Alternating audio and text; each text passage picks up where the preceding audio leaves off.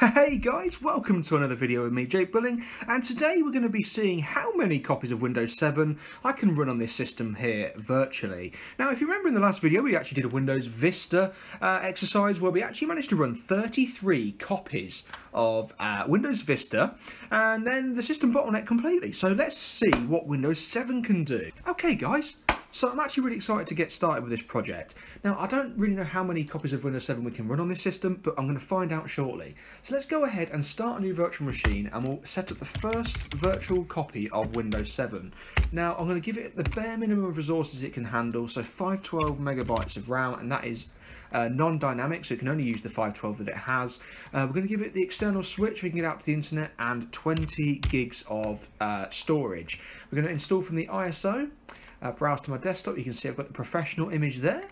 And then next on that, and then finish. The last thing we want to do is right click on the settings.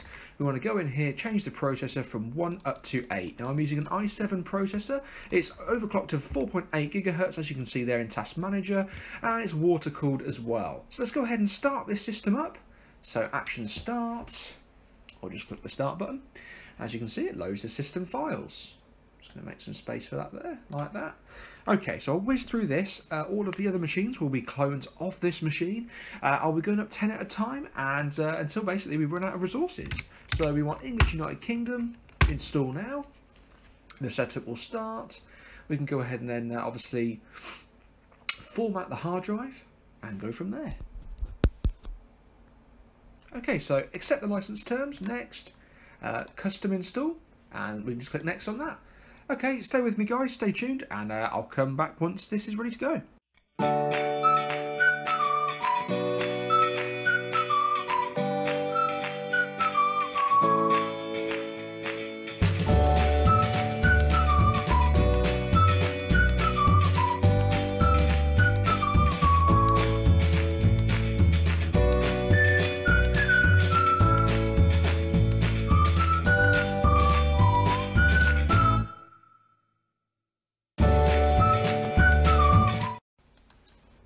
Guys, so we're at the personalisation stage. Let's give this a name. So I'm going to call it Jake, and the PC can be called Jake, that's not a problem at all. Uh, no password at all, and we'll skip this activation stage for now because we're just going to trial the software. And next for the location, and it's a work network. Let's finish this and, uh, you know, export the virtual machine and re-import it and start the uh, cloning process. So preparing your desktop. It should be pretty pretty quick actually.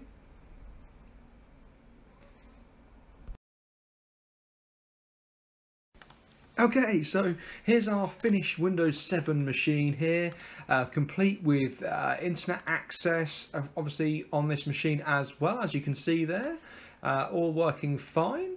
Now, what we want to do is go ahead and go back to Hyper-V here, and I've created a desktop uh, folder called Windows 7. So let's go ahead and right-click on this and export it first of all. We're going to browse that folder, so Desktop, Windows 7, select the folder export to that. If we scroll across here, we should see exporting progress.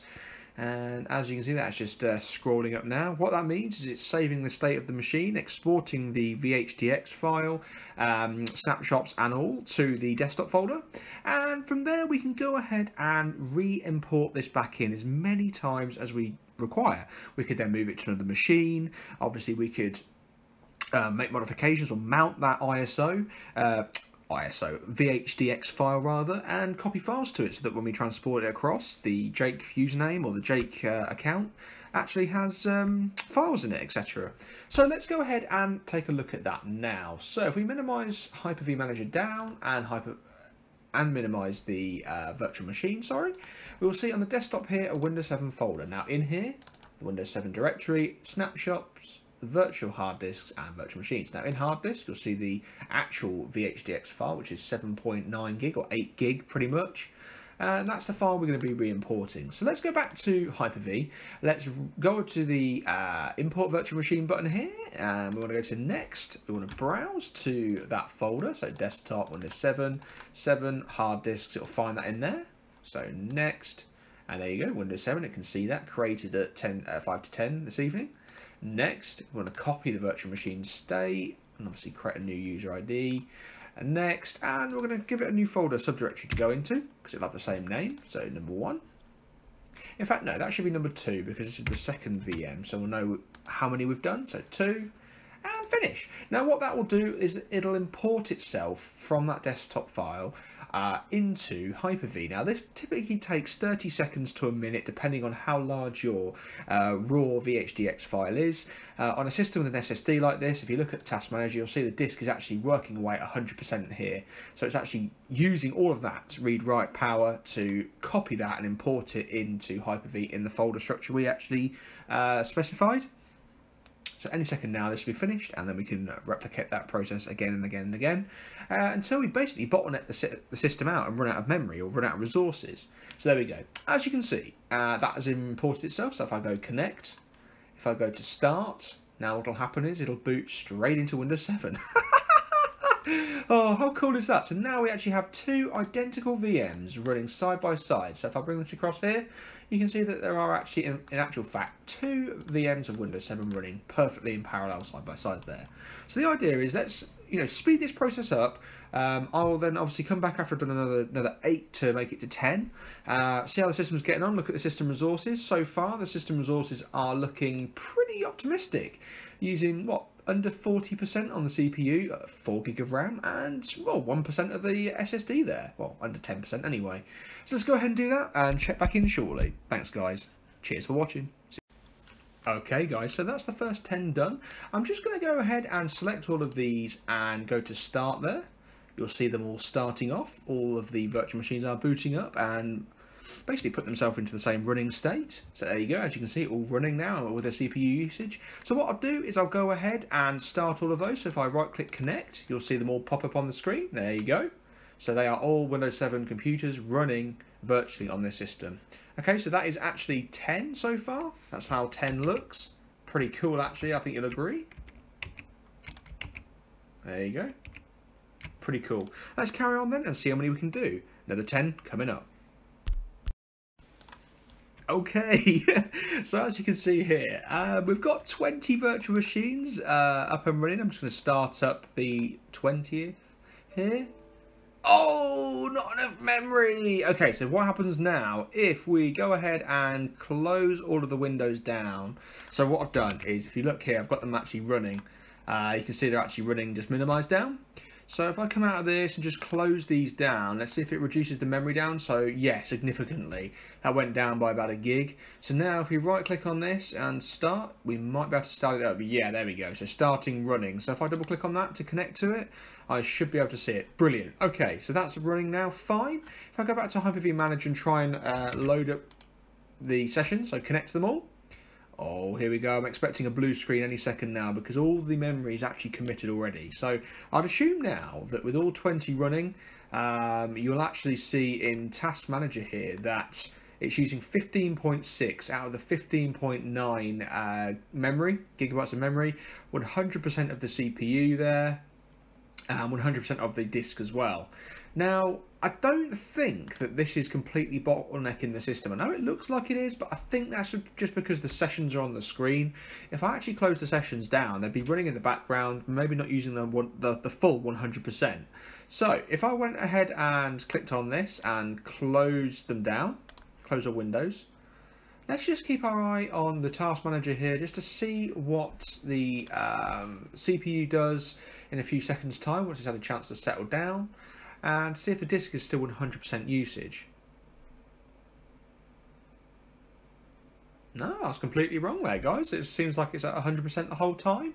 Uh, the, the disk is the same, so it would actually, you know, turn out that we can only run 20 virtual machines. Now, if I go to import again, and next, let's try and import it one more time. Desktop, 7, 7, Okay, this is the 21st machine, so let's see if we can do 21 and run it. See if it will run it or not. I don't know whether it will, so 21. Okay, let's import that in and let's see if we can actually run 21 machines. That'd be quite interesting to see actually. Okay, so this is almost finished importing now, as you can see. There we go. Now, I've just uh, let the system sit for, for a minute or so, and as you can see, the CPU usage has halved. Um, like I said, I did think it was just in the middle of just setting the machine up. That's all it was doing. Um, but I was just jumping the gun a little bit there. So let's go ahead and see if we can start up this uh, 21st machine. Will it work? Yeah, there we go. So if I double click on it, it should start the session and there we go again. All right so we're on to 22 now so let's go ahead and import the 22nd machine and see if we can manage that as well. Let's try it. So back in here. Okay imports. Come on then. Number 22 swanky so number 22 is now importing. Let's see what this does. Okay, there we go. So the 20 second machine, let's see what this does. So start, starting, running. Uh, there we go, it's running as well. Apparently so. Apparently we can run 22 machines. Okay, and the 23rd. this is really fun, guys. Like, I know it's just a strange exercise, but actually it is quite fun. Oh, let's do it. So 23, uh, 23. Okay, and import that in as well. Let's see if it can manage this one. Right, so this is going to be uh, interesting, isn't it? That's what it does. So, copying file, nearly there.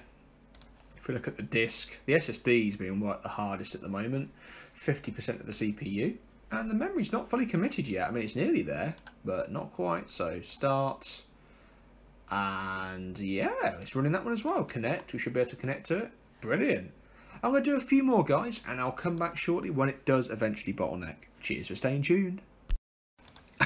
okay, so guys, we got to uh, 27 virtual copies of Windows 7 Professional, and the system has officially fallen over. Now you can see there that all of the memory is actually allocated. The disk is working overtime for the swap space of memory. It's going like mad. I mean, I try and run the 28th uh, copy, uh, click start there, and you can see it just says run out of memory, can't run it anymore. Now, if we go ahead and load the sessions, it absolutely kills the, the machine. So if I go, I don't know, six there at a time, if I go connect, you'll see that those uh, sessions will start up, but it's quite laggy. Uh, the system itself is running on a bit of a go slow because it's so inundated with uh, with with data and work. So I'll go ahead and just close those back down again when it feels like responding to me. I just want to show you Windows Explorer as well. So if I go back to Windows Explorer, you can see that there is a 160 gig free still. So it's not actually using that much space for 27 copies of 7 running at once. And you know, that's that's quite impressive. So I'm just going to arrange these machines now so you can see them all running and I'll come back shortly. okay guys, that's great. Thanks for watching and I hope you enjoyed the video. I'm Jake Billing. As always, please like and subscribe, share the videos around if you enjoyed it, and I'll see you next time. see you later guys. Bye.